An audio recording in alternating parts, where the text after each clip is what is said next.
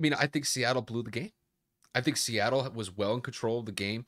They were up 30 to 16 late in the second half, and they just let it slip. And it's like you mentioned, they let Derrick Henry just pop off on them. And that's the thing is, look, Derrick Henry is one of the most powerful backs that this generation has to offer. And if he's able to exploit any defensive weaknesses that a team has, he is going to do it and he's going to destroy you if you have those weaknesses. And he popped off today. He had over 180 yards rushing, had three touchdowns, and was solely responsible, at least uh, maybe not solely, but he was a huge factor in the comeback against Seattle on the road. So when I look at the Titans, you know, the Titans, they got their they got their shit rocked in week one. They bounced back in a huge way on the road against a really good Seattle team. And to me, they showed, you know, some grit and determination. It wasn't working out in the first two and a half, three quarters, but they were able to turn it around and make it count when it mattered the most.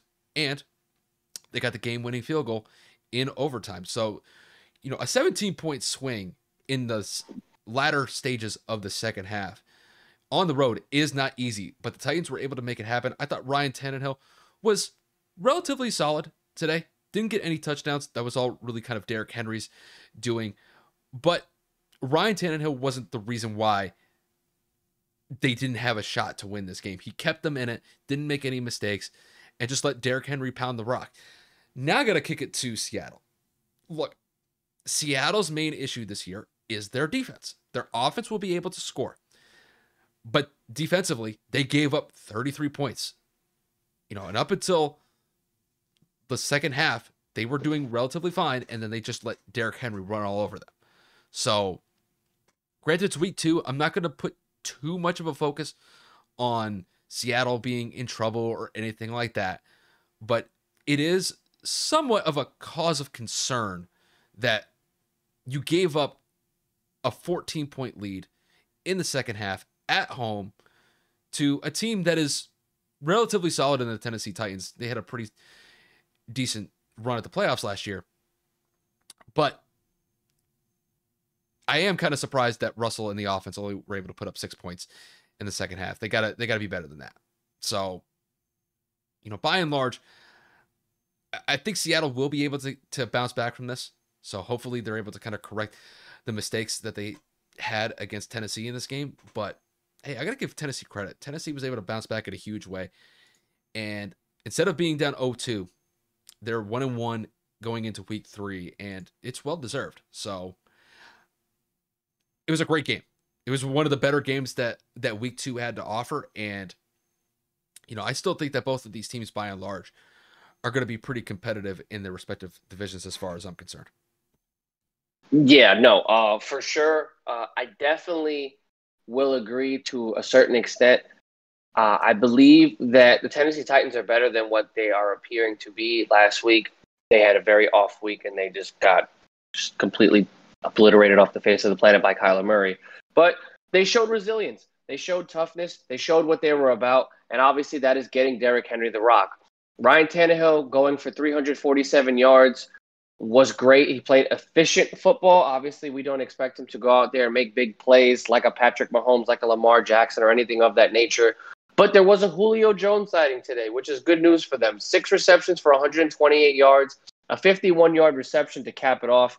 Uh, so it did look like their offense in the air was able to step it up, and Julio Jones was able to get into a rhythm, which is going to be crucial for them going forward down the stretch. They did uh, go out and acquire him for this particular reason. And if you have Julio Jones and Derrick Henry and eventually A.J. Brown kind of popping off, I don't see a lot of people being able to stop this offense. The problem is the defense similar to Seattle. I'm going to transition on to that team as well. Obviously, Russell going for 343, two tuts, and just doing his thing on the ground to kind of keep plays alive. He was sacked a couple of times, but his passer rating of 128 was just incredible. Obviously, throwing over or completing over 60% of his passes. I think that the main issue is going to be here is going to be their consistency at running the football. Seattle was only able to put the ball on the ground 18 times for 77 yards not too good. They averaged as a team 4.3 yards per carry, but it isn't anything that's going to kind of jump out at me, considering Chris Carson had two touchdowns on two of those carries, and Alex Collins had one rush for 25 yards, so that average is a little inflated. Overall, I do think this was an incredible game, but like Kyle said, the Seahawks straight up just blew it, man. Their defense could not contain Derrick Henry, and that offense was in, a, unable to really put anything on the board or really get anything going. Tyler Lockett had an incredible game, obviously going for 178 and a touchdown.